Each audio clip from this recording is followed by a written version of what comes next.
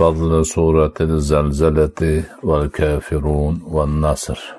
زلزلة كافرون ونصر سورة فضله عن أنس رضي الله عنه عن النبي صلى الله عليه وسلم قال من قرأ إذا زلزلت عدلت له بنصف القرآن ومن قرأ قل يا أيها الكافرون عدلت له بربع القرآن ومن قرأ قل هو الله أحد adolatdahu bi qur'oni anas roziyallohu anhudan rivoyat qilinadi. Nabiy sollallohu alayhi vasallam dedilar kim izazulzulatni qiroat qilsa uning uchun qur'onning yarmiga teng keladi. Kim qulya ayyuhal kafirunni qiroat qilsa uning uchun qur'onning choragiga teng keladi. Kim qul huvallohu ahadni qiroat qilsa uning uchun qur'onning uchdan biriga teng keladi. Sharh. Ushbu hadisi sharifda nabiy sollallohu alayhi vasallam qur'oni karim suralaridan uch suraning Zarzala, kafirun va ixlos suralarining fazillarini bayon qilmoqdalar. Birinchi ida zulzilatni qiroat qilsa uning uchun qur'onning yarimiga teng keladi. Zalzala surasi qur'onning yarimiga teng kelishini qanday tushunish lozim? Bu savolning javobi quyidagicha. Qur'oni karimning asosiy maqsadlaridan biri bu dunyo va qayta tirilish masalalarini bayon qilishdir. Zalzala surasida aynan qayta tirilish masalalari bayon qilingan. Ikkinchi qul ya ayyuhal kafirunni qiroat qilsa uning uchun qur'onni choragiga teng keladi. Kafirun surasi qur'onning choragiga teng kelishini qanday tushunish lozim? Qur'oni karim tavhid nubuvvat maosh hukmlari va oxirat hukmlarini o'z ichiga olgan. Kafirun surasida esa aynan tavhid masalalari bayon qilinadi. Uchinchi qul huvallohu ahadni qiroat qilsa uning uchun qur'onning uchdan biriga teng keladi.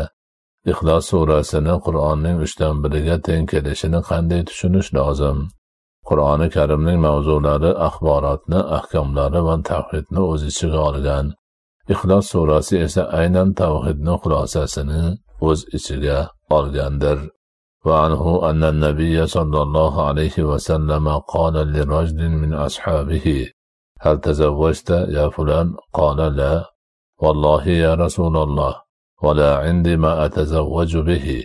قال أليس معك قل هو الله أحد؟ قال بلى. قال ثلث القرآن.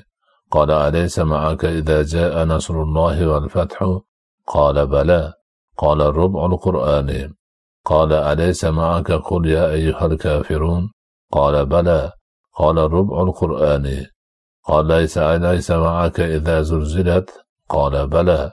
قال ربع القرآن. tazavvaj tazavvaj ravohimat termiziyu yana o'sha kishidan rivoyat qilinadi. Nabiy sollallohu alayhi vasallam o'z ashoblaridan biriga ey falonchi uylandingmi? dedilar. Yo'q allohga qasamki yo allohning rasuli uylanadigan hech narsam yo'q dedi. Senda qurhuvallohu ahad yo'qmi? dedilar. Bor dedi. U qur'onning uchdan biri dedilar. Senda izaja nasrullohi val fathu yo'qmi? dedilar. Bor dedi. U qur'onning choragi dedilar. Senda qul ya ayyuhal kafirun yo'qmi? dedilar. Bor dedi. U qur'onning choragi dedilar. Senda ida zulzilat yo'qmi? dedilar. Bor dedi. U qur'onning choragi uylangin. Uylangin dedilar. Ikkisini termiziy rivoyat qilgan. Sharh mazkur surai karimalar fazli haqida boshqa rivoyatlar ham bor.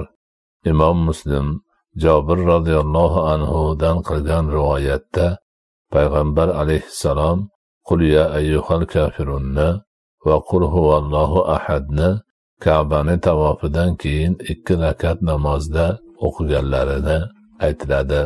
Abu hurayra roziyallohu anhu rivoyatlarida esa bomdodning ikki rakat sunnatida xuddi shu ikki surani tilovat qilganliklari aytiladi. Haris ibn jabal roziyallohu anhu payg'ambarimiz sollallohu alayhi vasallamga yo allohning rasuli menga uxlashdan oldin o'qiydigan biror narsa o'rgatib qo'ying deb iltimos qildilar.